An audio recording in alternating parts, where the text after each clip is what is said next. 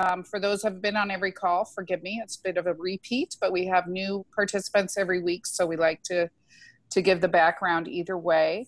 Uh, we will have a question and comment section at after our speaker today, so hang tight. You're welcome to put them in the chat if you'd like to do it that way. We are recording this call so that other people who can't be on with us today will be able to enjoy it another time. I um, work here at Villa Gardens in Pasadena, and we have some non-Villa Gardens people here. That's why some of the Villa Gardens residents must be wondering why I say that every time because there are some non-Villa Gardens people who join us. Um, so in the fall of 2018, a Villa Gardens resident, Nan Johnson, wave Nan, um, wanted to make sure that everyone celebrated the centennial of the passing of the 19th Amendment in the year 2020. She gathered a small group of women in Pasadena, and the idea of celebrating on January 1st with a rose float in the Rose Parade was born. Maybe you saw that float. It was called Years of Hope, Years of Courage. It had Lady Liberty riding high in the center of the float with 18 prominent figures on the float and 100 men and women walking behind the float dressed in white, reminiscent of a suffrage parade. Our featured speaker today was one of those walkers. Many celebrations have been stalled due to COVID 19, but with NAN and a different small group, we recently gathered to discuss continued celebrations. We call ourselves 2020 Plus and are starting with this speaker series at Villa Gardens during the month that the 19th Amendment was signed. It was mentioned earlier that tomorrow, the 18th, was the um, the day of the Tennessee vote, the final ratifying vote and then we people also celebrate August 26th when the um, when it was signed into law. And maybe our, our speaker might tell you more about that. Nan Johnson, the inspiration for all of this celebration, spent much of her life in Rochester, New York, the home of the suffrage movement. She served in the legislature on Monroe County for 20 years, taught at the University of Rochester, and was the founding director of the Susan B. Anthony Center at the University of Rochester. She also had close civic ties to Seneca Falls, the home of the National Women's Hall of Fame and Women's Rights National Park. Many more accolades than I can list here, but without further ado, Nan, take it away. So you'll have to un, yeah, there you go. I unmuted myself, I think, as much as I am capable of doing? Yeah, all right. Okay, um, this is Nan Johnson. I'm delighted to be here and to welcome you all here again uh, to this series. Uh, this particularly, we wanted to have a series in August for uh, 2020 plus because that is the month when the whole thing really came to fruition. I am privileged to uh, be able, and, as well as having a great pleasure to introduce to you Deborah Hughes. And um, I'm not going to talk very much about Deborah because I want her to be able to tell you herself about what happened here. But I do want to tell you that when I came to Rochester in 1957, you know, the house was there. And I mean, we knew about Susan B. Anthony and some of the uh, history, of course, and, and I got very involved in Seneca Falls. But believe me, believe me, no matter what Deborah says, there, the house was in no way the way it is today, and it was not the national treasure that it is today, the international treasure, and and all the, um, the connections that Deborah has made there. She started when she came in 2007, and I mean it's it's uh, obviously obviously, I am much older than she, but we are uh, kindred spirits on this, I am privileged to say. And um, she uh, has just done a, a marvelous job with uh, making the, the whole history of, of, the suffrage movement through Susan B. Anthony and the relationships in Seneca Falls with uh, Elizabeth Cady Stanton and uh, Frederick Douglass and all of it. So I'm going to give it to uh, Deborah because I want her to be able to talk to you about all of this and, as, and give you some background on it. Deborah, here you are, dear. Thank you so much, Nan. You're very you're very kind. So greetings to all of you from Rochester, New York. The uh, images behind me are of the National Historic Landmark and Susan B. Anthony's sister Hannah's house, which we acquired in the late 1990s as our visitor center. It's a quiet street on Madison. And if you were a suffragist at the turn of the century, you'd know about Madison, that place that was the home and the headquarters when Susan B. Anthony was president. And things were sent often. When Susan was at a national convention, they'd be sending new carpets to Madison because Susan and Mary, her sister, were known for spending all their money on the cause and not so much on their own uh, comfort. Uh, and every time you got a letter from Susan B. Anthony, and she was able to keep three stenographers, full time stenographers, busy taking dictation when she was president of NAWSA. This is a woman who sent 1,600 thank you notes to those who attended her 80th birthday party. If you got the letter, it would come right from Madison Street. And so, this modest home, as one person described it in 1945, a, um, a modest home on a narrow lot in a gone to seed neighborhood, is the National Historic Landmark where we can claim this history and heritage of Susan B. Anthony's head, work, headquarters. It's also the house where she was arrested for voting in 1872, and it's where she died in 1906, having worked until the last weeks of her life, still working to uh, work for the vote for everyone. So it's wonderful to uh, welcome you in this virtual way to where we are here in Rochester. I want to take you back a little bit to Susan B. Anthony's time in 1820 when she was born. Because if we really understand the setting and the context of her life, I think it adds more meaning to the work that she did and also gives us both hope for so much that has been accomplished and also uh, helps us recognize the very difficult work and challenges that were ahead. In 1820, of course, this was a new democracy. The republic was only about 50 years old. And the world kind of thought this was a crazy experiment. No place else had there dared to be a government government that was selected by those who were governed. And as we know, the incredible visionary words that we found in the Declaration of Independence and in that first Constitution were all about equality and empowerment and God's gift of, of human rights and the, human striving for life, liberty, and the pursuit and happiness. But the world into which Susan B. Anthony was born was not a world where everyone had those rights. For women who happened to be uh, white women, Eurocentric women, if you got married, all of your property now became your husband's property. It had been your father's. You didn't have custody of any children, those were his children you couldn't enter into a contract because the law literally said when two are married, the two become one, and the one is the man. Hence that old change where Jane Doe marries Fred Smith and becomes Mrs. Fred Smith, that actually was because Jane Doe ceased to exist in the eyes of the law in the 19th century. So what that meant was you couldn't rent your own apartment, you couldn't enter or sign a contract for a business. You, if you happened to have been trapped in a marriage that had substance abuse and alcoholism, which was rampant in the 19th century. You couldn't leave because if you did, you had to leave your children behind. And your husband could actually indenture your children into servitude to pay his bar bill. Not just the ones who were already born, but those who had not yet been conceived. Now, that's pretty oppressive, and a lot of people who come to visit the Anthony Museum who look like me right there already say, How come nobody told me this? Why didn't I know this history? But that doesn't even begin to talk about what the circumstance for women in these United States was in the 19th century. Because we haven't addressed those who were trapped in slavery, those who were, as because of the chattel slavery that was allowed and permitted. And when Susan B. Anthony was born, New York State still allowed slavery. Uh, the world where we had human beings who were considered to be less than human and where one person could own as property another person's very life and being. This was the condition for many, many women who were on these borders at the time that Susan B. Anthony was born.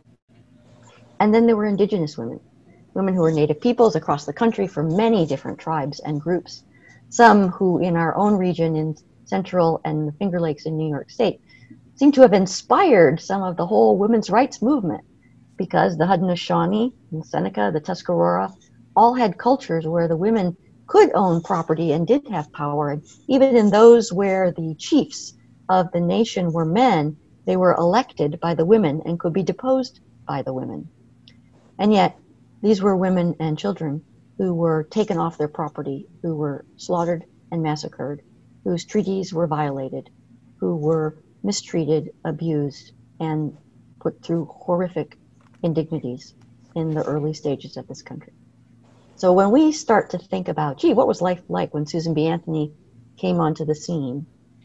To me, it is very exciting that we are finally truthfully taking a broader look and understanding at what society and what the world was like in that time period. And in the same way, we're taking those eyes wide open and looking what life is like truly in our society today. Now, I'm going to put forth the thesis that Susan B. Anthony is quite a patriot. I think she is an old school liberal who actually believes that this crazy experiment of having a country where the citizens can elect their government despite the risks involved because what that means if you let everybody vote and participate is that the crazy people as well as the thoughtful people get a voice and a vote. And as we all know sometimes good triumphs and sometimes it's not good that triumphs. But anthony i believe passionately believed that it was the only model to provide opportunities for true human rights and and life and liberty and the pursuit of happiness and that there had been no other model before. But now here's susan b. Anthony trying to figure out how to get from where they were to where she thought we would be. Susan b anthony was a quaker as some of you know. Now there's currently seven different groups of quakers and we often have understandings and presuppositions about different religious groups based on our own experience. But in the 17th century, the Quakers had been persecuted in Wales and England and even put to death. Many of the Quakers who found their way to these shores and hoped to have religious freedom really didn't intend to have religious freedom for everyone. They wanted religious freedom for the Quakers. And we see that all up and down in the 13 colonies. The colonies that were Catholic didn't intend to have Protestants in their midst, and the Congregationalists didn't want to put up with the uh, the Catholics and they didn't want to put up with the Quakers. Uh, in Massachusetts, in the 17th century, there were Quaker women who dared to teach Bible study.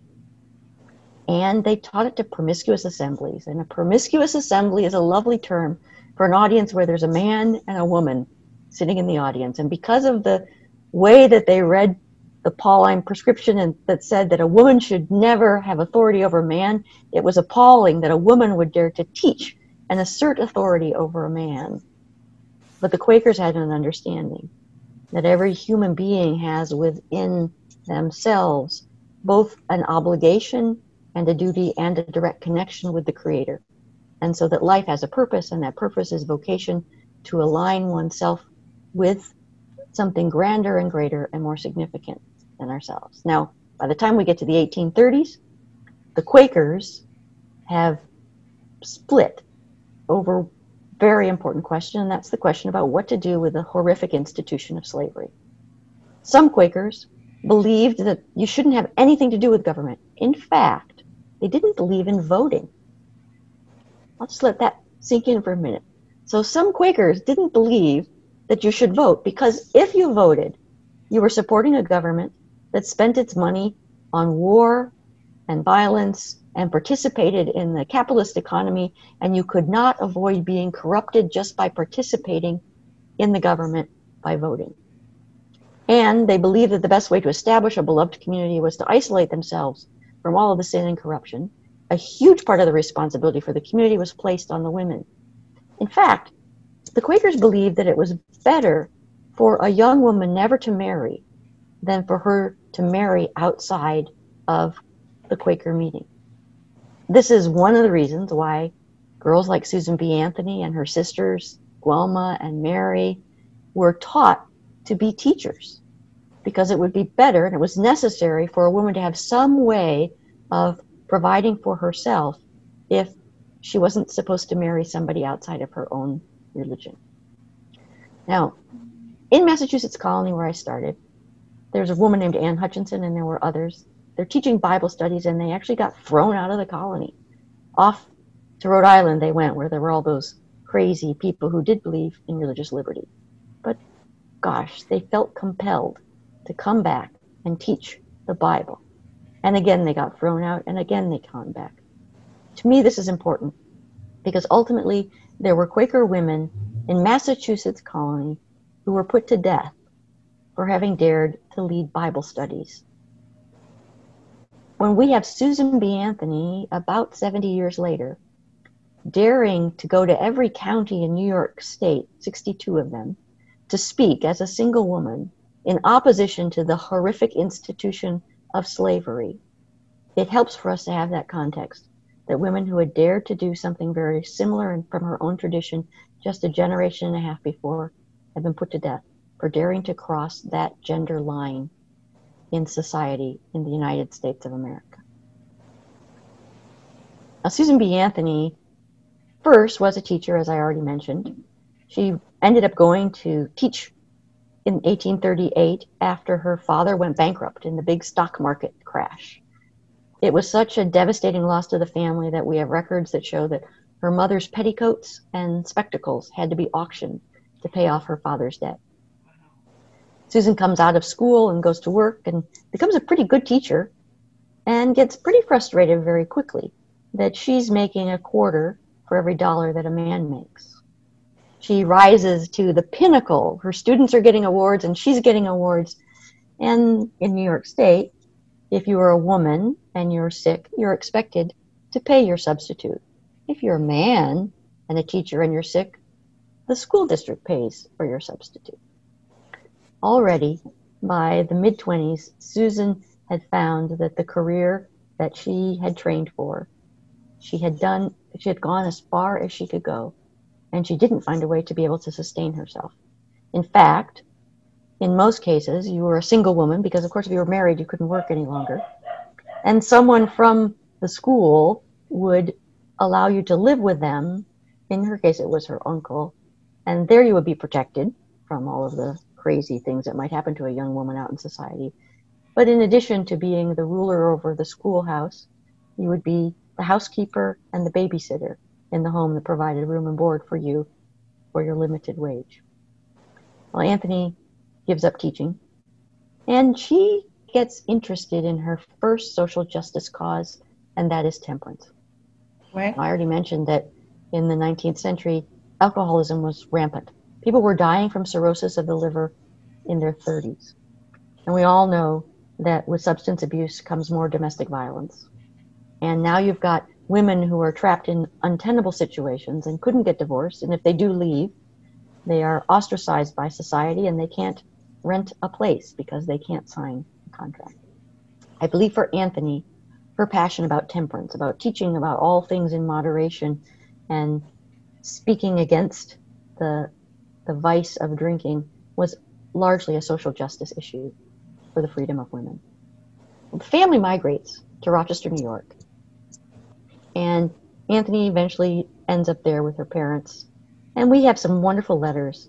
One where she's sitting out at the family farm. And the family farm, which is now about a mile and a half from where the house is, the Anthony house, uh, was a 25 acre farm. It was actually owned by her uncle because her father had never really recovered from his bankruptcy in the 1830s.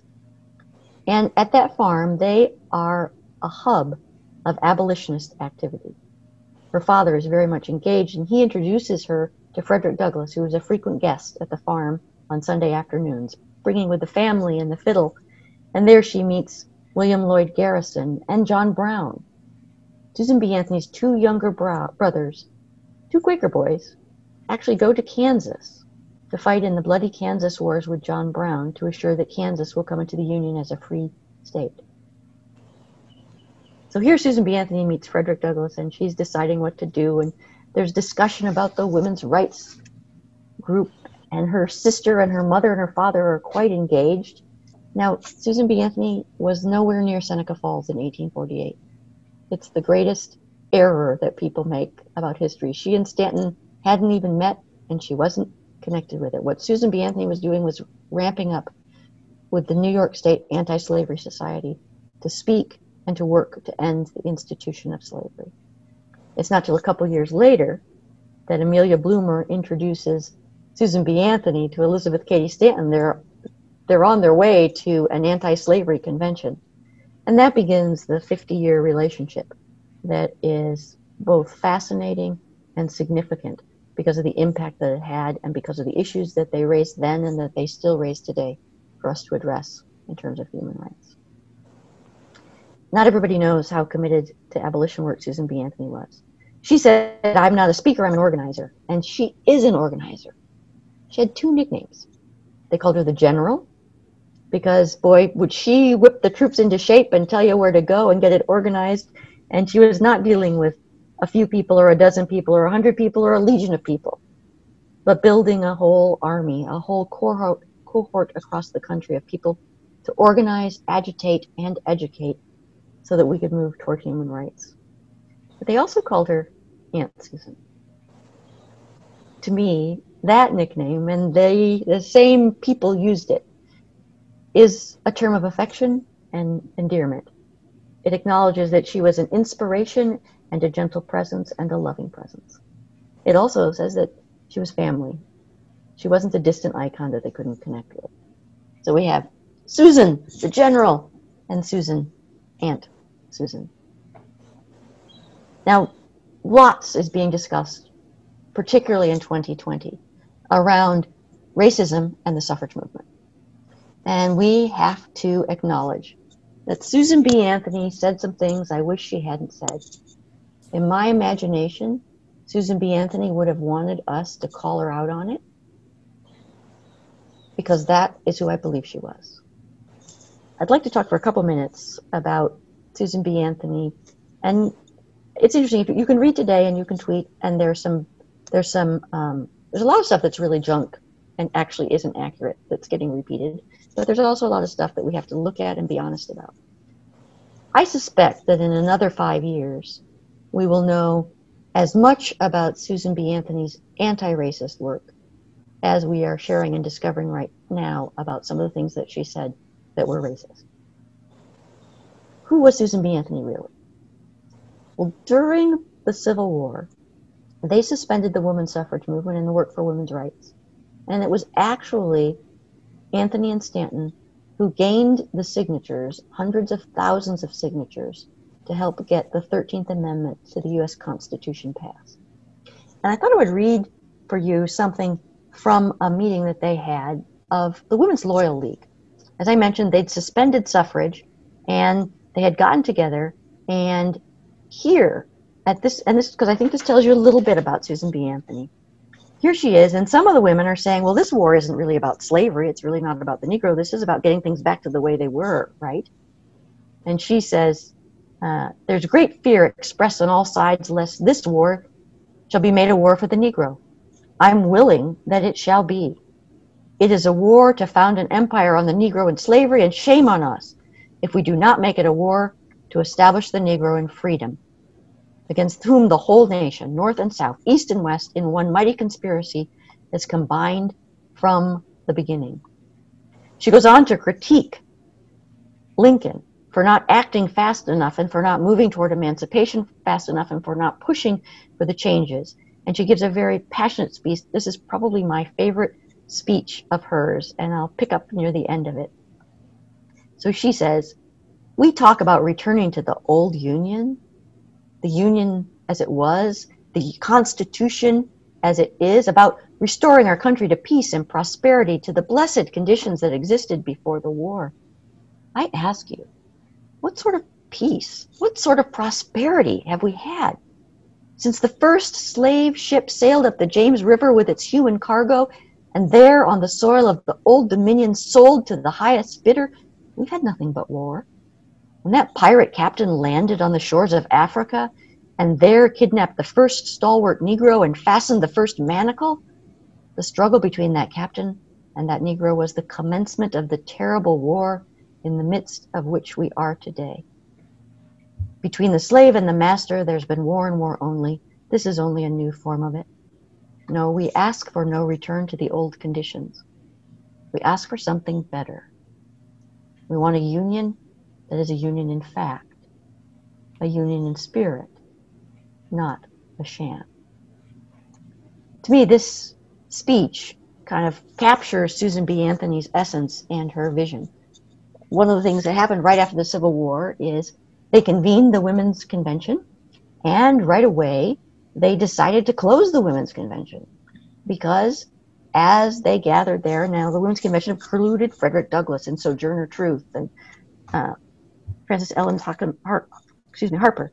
Uh, and on the agenda was a resolution proposed by Susan B. Anthony.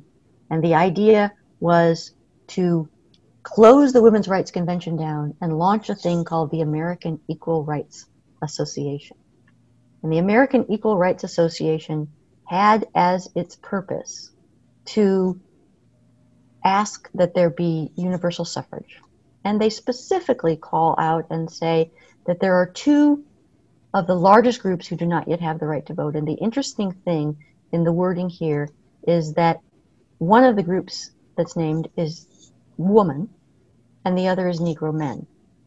Now, it's very interesting in some of the discussions that we have about Susan B. Anthony and her responses that this document, which was presented to Congress, it was sent from the American Equal Rights Association to Congress, that's signed by Frederick Douglass and Susan B. Anthony and Lucretia Mott and Elizabeth Cady Stanton. Uh, this it's a very this powerful document that explains what their stand was and what their belief was at this point in time. Specifically says, and let me call up a little bit for this for myself so that I can read it to you uh, because I think it's powerful. Um, the undersigned and officers and representatives of the American Equal Rights Association respectfully but earnestly protest any change in the Constitution of the United States which shall no longer violate the principle of Republican government by prescriptive distinctions in rights of suffrage and citizenship on account of color or sex. We believe humanity is one in all those intellectual, moral, and spiritual attributes out of which grow human responsibilities.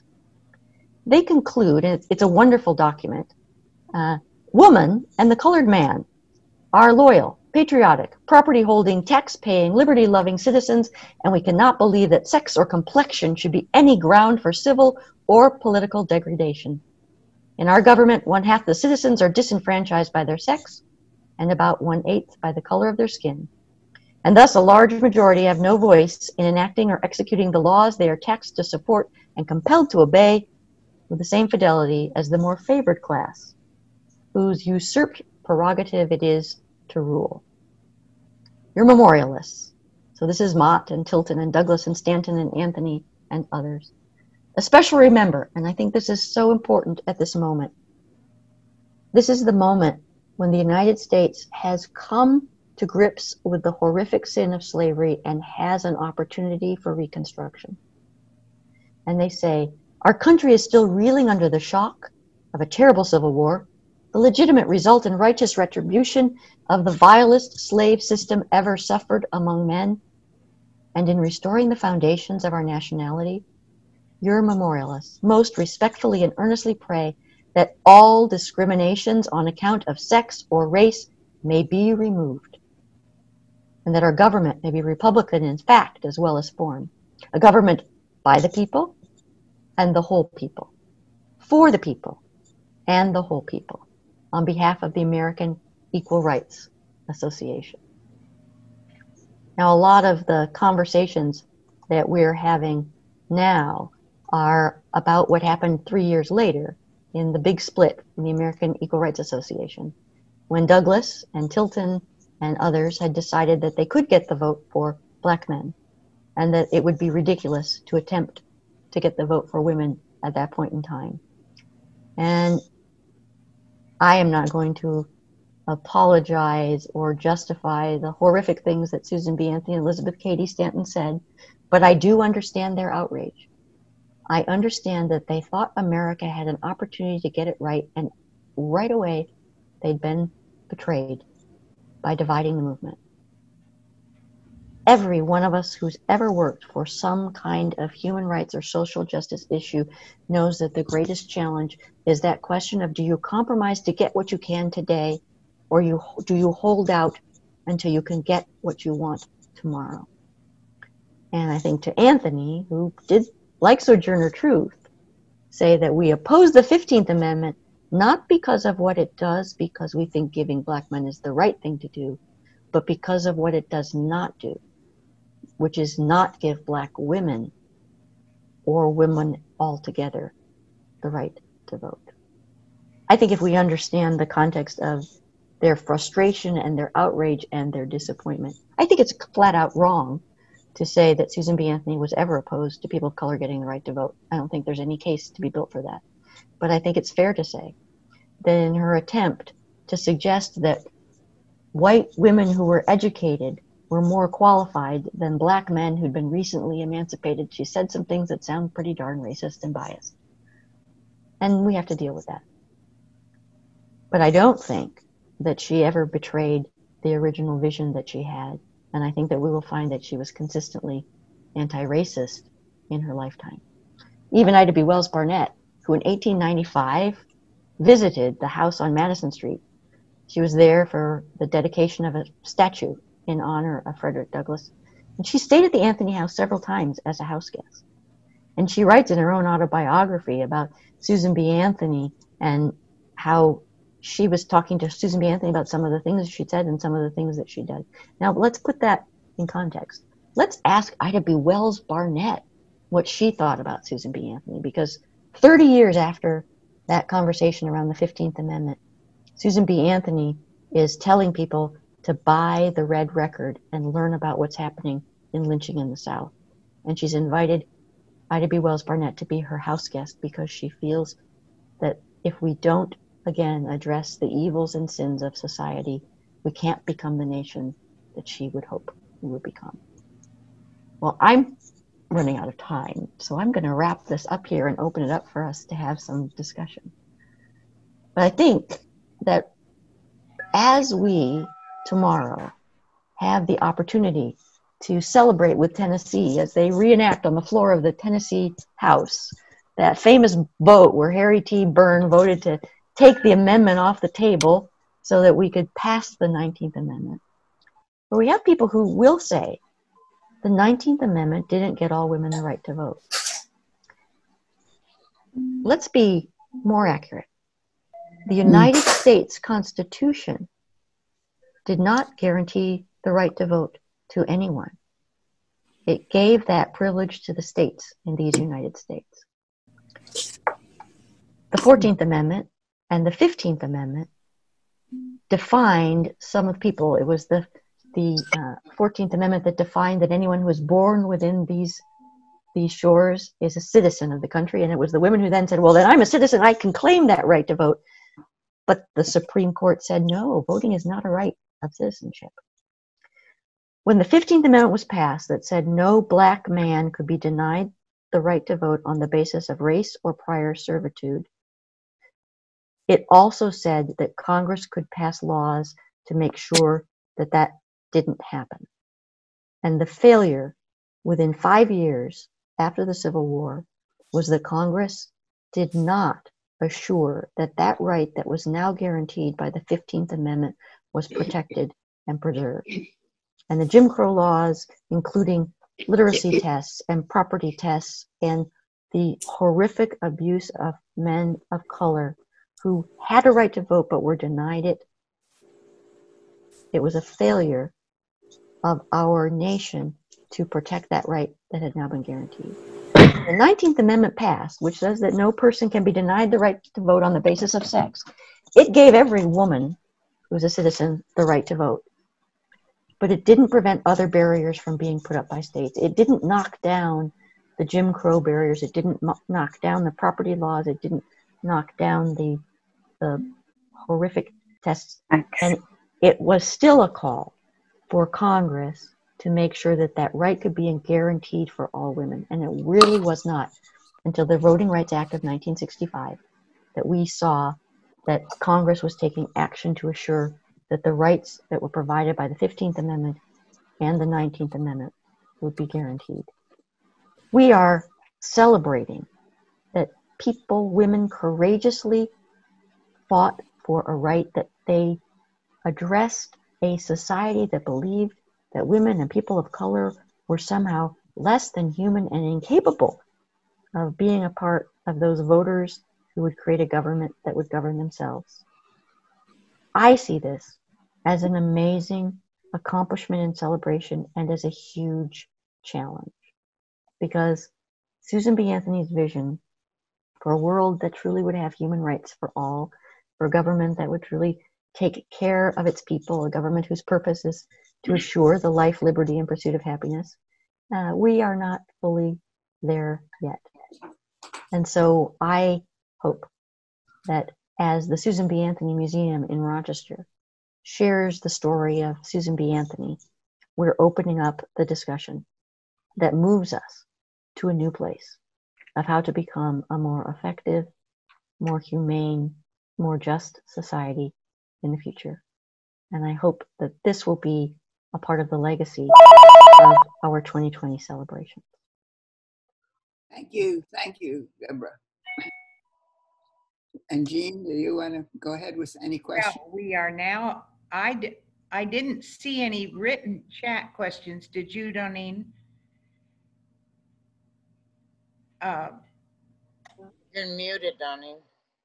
done. Sorry about that. No, I did not see any written questions. So let's open Uh, it up and uh, sometimes we talk over each other, but we'll try and we will give everybody a chance and kind of who gets started first gets first. Can I, can I ask a question? Please. Um, well, I have two questions, but um, Deborah, tell us about what, you know, we hear about a lot of celebrations being canceled all over the country. I'm not curious what's happening back in Seneca Falls and what uh, the house and the museum are doing this year and this month um, to celebrate. Yeah, we, we, we've been planning for 10 years, and so much of what, what many groups and organizations were planning were things like, like the Pasadena event, uh, doing public celebrations that people could come and attend. And uh, I have to say, there's a little bit of depression around all the, Sure. the suffrage organizations. Suddenly, in August, events are popping up all over the place because people have figured out how to do it virtually. And if you go to the National Women's Suffrage Commission site, there is so much there. The National Women's History Alliance, which had such an important role with Pasadena 2020, has uh, a marvelous set of links to all kinds of things that are happening. Uh, I think that you can do exciting celebrations and learn wonderful new things um, 24 hours a day from, from now to the end of August. Uh, so it's, I think it's, it's very exciting. Tomorrow in Rochester, we're uh, doing a press conference with the mayor and the lieutenant governor, and then some folks are going off to Canandaigua, where Canandaigua, where they're naming a lane after Susan B. Anthony behind the courthouse where she was arrested for voting in 1872. And I'm doing a leadership conference in Baltimore virtually. Uh, so I, um, there are all kinds of events. If anybody wants to email us, we'll put you on the list. We're sending out a, a daily email of some links that we recommend. Lynn Sherr and Ellen Goodman have produced a new podcast. It's called She Votes: The Battle for the Ballot, and uh, I think episode four, um, we're up to episode four. Episode five will be released soon, and I highly recommend it. Uh, they're, you know, they're journalists. Because you know, Ellen Goodman's a, a Pulitzer Prize winning journalist, and Lynn Sherr knows more about Susan B. Anthony than I think Susan herself did. Uh, I highly re- recommend the podcast. Yeah, I'd like to bring something up. This is Martha from the League of Women Voters, and the city of Pasadena is planning an event they're going to launch on August 26th for Women's Equity Day. I will have more information, but I just found out about that. So there's going to be a social media campaign and other things um, in order to to celebrate. And so I will be able to give you more information. I just found out about it this morning. So as soon as I get more things, I'll be able to share that with you. So City of Pasadena is going to be doing. And Martha, you'll be our next speaker in this series. And uh, Carolyn, I think you're introducing Martha. So that's, we want to look forward to that. Um, Yes, and I, I loved uh, Deborah's um, background. All the history is really wonderful.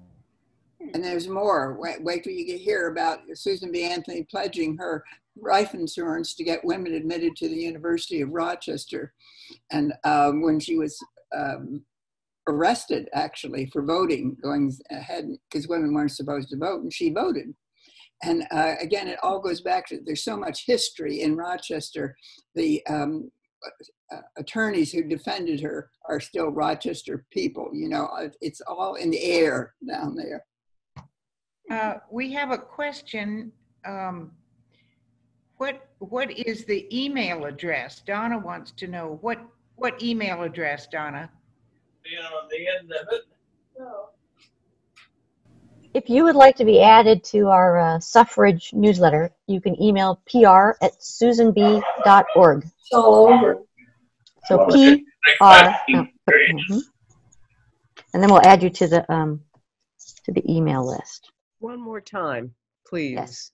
PR, as in Paul Robert, or Public Relations, at Susan B, S U S A N B dot O R G. Great. Oh, and, And just yeah, ask, tell us, tell us why you're emailing, and then we'll put you on the list. And, and we'll Thank you. it out to And Absolutely. any other questions, raise your hand. And uh, then I will, Donnie and I will try and, and uh, see the hand. Talk to the hand. I'm not seeing other hands. Um, Is that for real, Gene, or just any example? Any of- of No, I didn't Just, do just that. Ed. Okay, that's too bad. I have another question then, if nobody else does. Well, o- okay, someone, just a minute, though. Someone had good. a Question about the link for these other, uh, these other programs that we've just missed, the three that we've had so far. Can you give that information, Donine? Um, we are putting it on our villagardens.org website under the, and Michelle, you got to help me, under the culture tab, C O L T U R E. Is that right, Michelle? Donine, can I chime in? Yes. Well, I, this is where I'd like to send them, if that's okay, Catherine. Sure, absolutely. Villa Gardens residents Right, have a different link through Life Enrichment, but for people not at Villa Gardens, villagardens.org, and there's a tab that says Culture, and if you page down, you'll see a picture of the float and then the five. And so we've downloaded the first two at this point. Okay, go ahead, Michelle. Thank you. Michelle is works at Front Porch, and she's been helping me with this. Go ahead. So I'll um, add the link into the chat feature. Um, and right now, um, technically two of the videos are linked there. And once the full program is done, we'll link all five. Um, so please enjoy. Thanks, Okay, Michelle. We can see, see the things Okay. on YouTube or something. Nice. Que- Question? Yeah, What tea or not? Okay. I just, Nan had her hand up. I just wanted to say one thing that you may find interesting again about Stanton and Anthony. Actually, there is a bronze, Sorry. a bronze statue in Seneca Falls. On- Somebody is talking over you. I can't hear. Walking at fifty. Bob Spencer. Oh, I'm looking. I just want to tell you, and I'll stop right away, but there, I just want you to know that there is a bronze statue on the edge of the river in Seneca Falls, and it shows Amelia Bloomer, who of course invented the bloomer, uh, introducing Susan B. Anthony and Elizabeth Cady Stanton to one another. It's a, a, Hmm. a wonderful, uh, it came in my time. It wasn't there in the beginning, but it's a wonderful, nice symbol. Uh, and there is a uh, uh, uh, symbol in within you know uh, seneca falls is the home of the only um, portion of our parks system where there's a national women's historical park in seneca falls devoted to the whole history of suffrage. And uh, that's the only place we have it and it's never funded the way it should be. But there's a marvelous director there. Her name is andrea DeKoter and you can pull that up online if you look for the whole park uh, system, the national parks, and this is the only one because you'll find it in Seneca Falls, the National Women's Historical Park in Seneca Falls. And Andrew DeKoter is the director of the park, and uh, they have a, a marvelous history. They have memorabilia. They have the place where uh, Alice Paul held out the Equal Rights Amendment uh, for everybody to see, and it's it's a wonderful place to visit. So. As is the also in the uh, in Seneca Falls is the National Women's Hall of Fame. You, which, you need to take us on a virtual tour, Nan. Yes, Oh, yeah, that would be wonderful. that would be. Are there, are there any, I don't see any hands. Um, I can, oh, Irene, did you have a question? No. Um, Gee, may I say something? May I say something? yes, please. The second from right key in the top row of your keyboard will increase the volume. we had quite a bit of chat about uh, about the it being volume? quiet earlier. So Mr. Spencer, did you have something to say? Uh, You're muted, it seems. Yeah. hello. Hello. We just wanted to find out, are these being recorded so we can see them later? yes, they'll be at um, on Villa Gardens website. But for you, Bob, you can also look at the Life Enrichment website that uh, Catherine has set up. She can help you find that. The Okay. first two have already been posted, and this one will be posted later this week. Very good, thank you. I wanted to ask Deborah a question, if nobody else. Um, Deborah was uh, came out from Seneca Falls to walk behind the float. And last week, our speaker was Ellen, who also walked behind the float. And I wanted to ask Deborah's experience with being in the parade. Um, some of us, many of us on this call, were planners, but we were did weren't in the parade. So it's always fun for us to hear each of those individual experiences. If you don't mind sharing. Good one, Donnie. Mhm. I'd love to. My uh, my wife Emily Jones and I flew out together, uh, along with Ann Kuhn, who is a volunteer at the Anthony Museum, and um, the three of us were representing the Susan B. Anthony Museum and House. It, Emily has said it was one of the most memorable experiences of her life. Uh, It was fun to do. Um, it was it was fun. You know, when Nan posited the idea at a gathering of women's leaders out here in uh, in the Finger Lakes e- even before that and said, "What what do you think about this idea?" We all kind of went, "Well, that's a great idea, Nan. You go." Um, but that you all pulled it off was incredible. I I uh, it was it was such an honor. I was thrilled to see the diversity in terms of age in, in, in so many ways in those who walked. Um, we, you know, we all had to wear our Edwardian white and our little tennis shoes, um, but we were all very willing to do that. But it, it was such a moving experience. Um, I've marched in many parades, many, many parades, and some have been pretty powerful. But this one, it was so fascinating because as we walked down the streets of Pasadena, people would make eye contact with you. The, the whole row of people would, everyone would make eye contact with you. And from children to, to men, so many people would whisper or shout, thank you. So many people were engaged with this idea of, of voting and what it represented. And you could, it was, it was, it was exciting. It was palpable. It was, there was something almost sacred about it. And yeah, when the firecrackers went out and the Statue of Liberty popped her top, um, I, I was moved to tears. Uh, I, and to me, the reason is because it, it's like where I started with Susan B. Anthony's story. It's about that possibility of really becoming a beloved community, about really bringing together people so that we can we can take this to to an even greater place. Um, and it felt so possible, and it was just so unbelievably exciting to be a part of that. Thank you. Thank you for coming. Yeah, thank you for for Mm. sharing that with us. Yeah. And, I don't know what happened to our screen. Yeah. Catherine. Oh, I thought it was just me. No, mine. No. Is that Um, you, Catherine? It, it's having a life of its own. No, no, that, that's not me, but Well, let me stop sharing the screen and maybe that, that'll fix it. Unless you're on 45 minutes.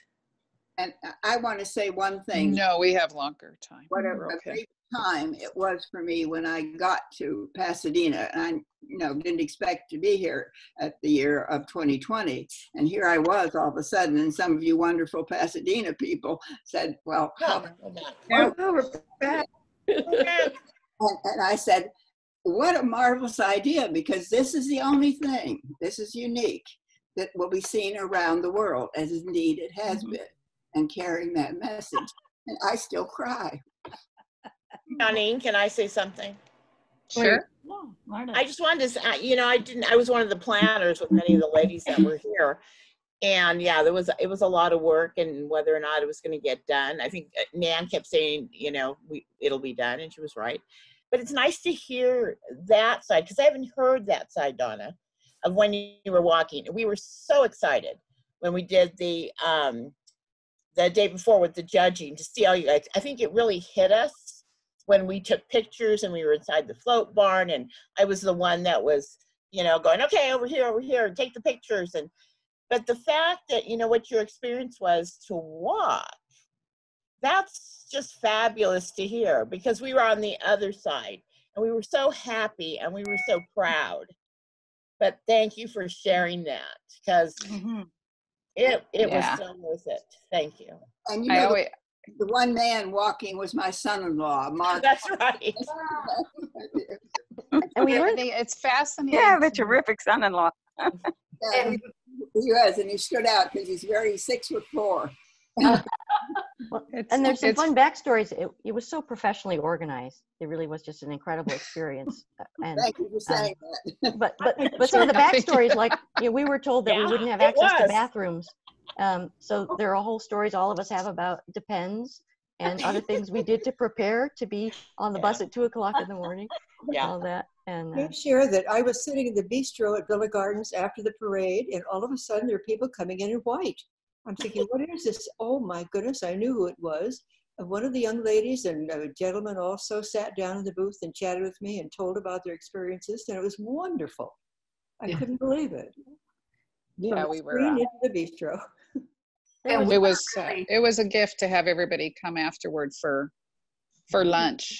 That um Yeah, and my my ugly cry through that event tells you how we were all uh Tired. and happy how how incredible it was but i it is fascinating to me still that there's about 25 of us who worked for the year and a half 18 on the float 100 behind the float you know every single one has stories upon stories to mm. tell. Just even your experience deborah that morning in the hotel room probably is a whole story you know of everybody being dressed and gathering being you know two two thirty three whatever it was to get on a bus to come in the dark to you know to orange grove boulevard. And then we won the uh, award there and but there's a mm-hmm. handful of people were there when that happened but yeah mm-hmm. everybody's got their own their own slant it's it's really fun for us to hear so thank you and We how remarkable that Villa Gardens, I, I know who you all realize that, but I mean, they gave us the support from the beginning. and They gave us the place, they gave, they fed All us, of they did everything else. And, and um, I want all the time to make sure that we give um, Villa Gardens the, the due that they get, need from, from this whole fair, because it wouldn't have happened without them. It Right. wouldn't- Donine, would you sh- remind us of the next two speakers and dates on the series, please? So Martha Zavala, who who spoke up just a little earlier, she's on this call, is the current president of the League of Women Voters Pasadena area. So that'll be uh, next Monday, and then the on August 24th. Sorry, and then the the final on August 31st will be Ken Morris. Um, he is the great great great grandson of Frederick Douglass and also a descendant of Booker T. Washington. He did ride on the float. He's an amazing presenter, and um, so how exciting to have both of these coming up. So glad you're all here. Invite anybody. We have room. There's not a limit on the Zoom. Please feel free to share this with anybody. And may I then remind you that there will be the, the, per, the, the group that started this, as Donine indicated, called it 2020 plus because we want to move on beyond this. And so watch for further programming that will come out of this 2020 plus uh, group, uh, starting perhaps at the end of September or October. And if you're on a list, you will hear, you'll get information about these, but I think you'll enjoy them uh, as we move, a- move ahead. we wanted to give you a, a hook to hold on to because we need that. And so uh, 2020 plus is that hook, and we are deciding where that will go forward. It's going to be a really, um, what I'm planning is an international kind of effort. And um, our, our theme will be the same one that Laura Farber so brilliantly gave us for the float, which is hope. And it's hope for the future and hope for the world. And um, that's that's what we're going to emphasize. But of course, during the end of September and October, nobody's going to be concentrating on anything except the election, and the vote. Exactly. You know, we understand that. So we're going to give ourselves time to figure out exactly what we want to do with 2020 and the plus. And we invite all of you to talk with us and give us your ideas about where we should go. We know that in the future, when she gets that helicopter off in uh, Mars, that Mimi Aung will, will uh, give a, a, a wonderful discussion for us, and we're so blessed to be. Marty, Marty, you have a question? I do. I, I, I've just, I don't know where Villa Gardens is. I'm at Claremont Manor. I'm still in the front porch community. We're in- I we're so enjoyed this series. Where are you? We're in Pasadena. Oh, you are in Pasadena. Right. Okay.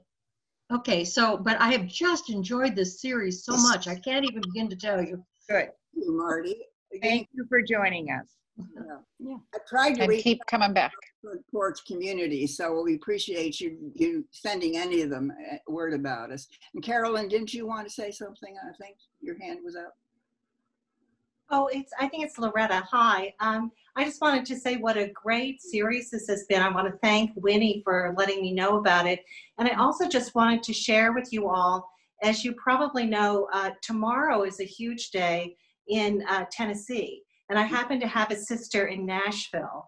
And so I shared with uh, Winnie, and I'm happy to share it with um, whomever here on the, the call to get the broader group, um, a link that my sister sent me of all of the amazing online activities that obviously were meant to be in person uh, happening in Nashville tomorrow. And there are a huge number of them, including making sure everyone rings their bell uh, at a certain uh, time to, to, to um, recognize sort of what everyone did uh, across the country, as I understand, um, on the 18th but for various reasons did not happen in Nashville. That's a whole story in itself. But um, there's a, you know, you can imagine there's a lot of uh, pride uh, in in Nashville about having been the the state that you know sort of um, brought the um, amendment over the finish line. the top. Yeah. Because that young, I they invited me to the react, uh, recreation of that uh, a number of years ago. So I was down there sitting when they recreated it, and the young man got up and read the letter from his mother saying, "Be a good boy and vote for this." You know? Yes. What a brave young man, huh? Yeah. Definitely. Get the link. And to admit how that happened. Right. Exactly. Somebody listened to their mother. right. And you changed history. Aren't we lucky? One person we lucky? changed history. Well, Yeah. thank you Us both the for link to And- watch the Tennessee um, information. the Oh, I, I have I have something that I'm happy to share um, with um, whomever could get it to the broader uh, group that lists all of these and has links to them. I have it too. Winnie Winnie already has Okay. it. Um, so Win- so Winnie, maybe you could send it to someone at Villa Gardens who, in case they, they can get it to the others. You can also type it in the chat, Or, or yeah. I Loretta. think that's a flyer. I'm, But so, I'm sorry. Typing Loretta, you could always type, oh, there, Deborah just put it. Deborah You did put it. in- Deborah did it. yeah, It's so if everybody chat. looks in their chat, there's a, a link to Tennessee Yeah. Women. right there. Look in your chat, very bottom of your screen. perfect. Well, if you're on iPad, it's somewhere. We're all. Oh. Yeah. There's nothing in there for me. but that's okay.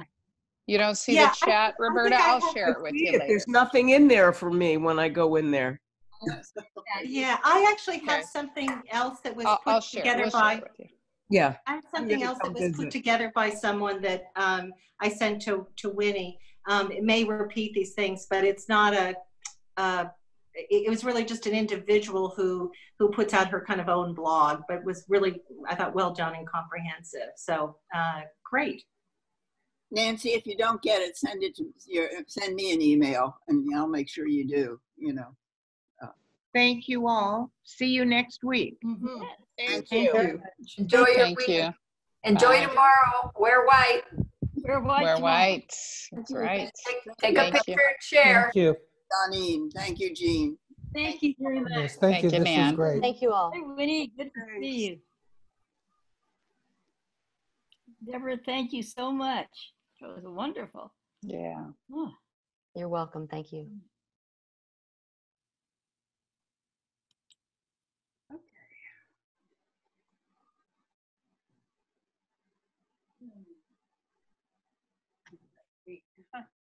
No, she's on my Zoom.